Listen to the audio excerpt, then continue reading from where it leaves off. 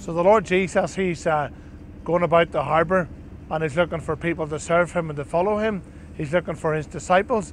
And one of the places he went to, he went to different places, was to the harbour, to the fishermen. And they were busy fixing and mending their nets.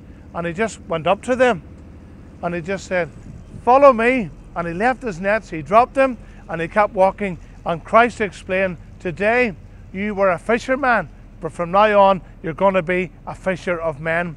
Just like you use the nets to catch the fish, the Lord Jesus was explaining to these disciples that they're going to be a fisher of men. In other words, they're going to cast their net out and catch men. That means the net was the gospel, preaching the gospel to tell people their need of a Saviour, about their sin, and how through the preaching of the gospel teaching the Word of God, they would be fishers of men. And through preaching, people would believe it, God would work in their hearts and make them realize their need of the Lord Jesus.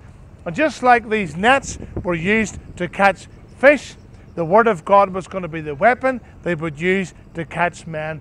Not to capture them, but to captivate them about their sin and to realize they're sinners before God. And just through simple preaching, teaching the adults and teaching the children that the Lord Jesus loved them so much, He died on the cross for their sin and how they can be saved from that.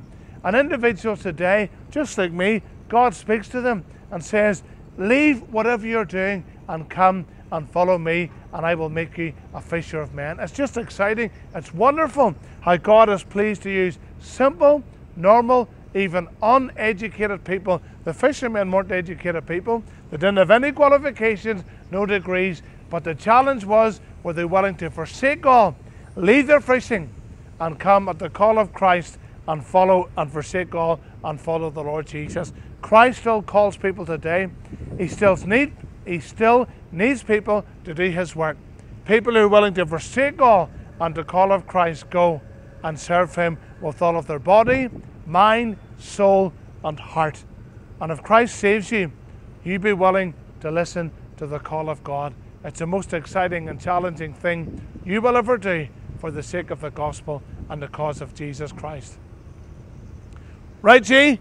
First, lead your fishing nets and let's go and reach the children with the gospel. Amen.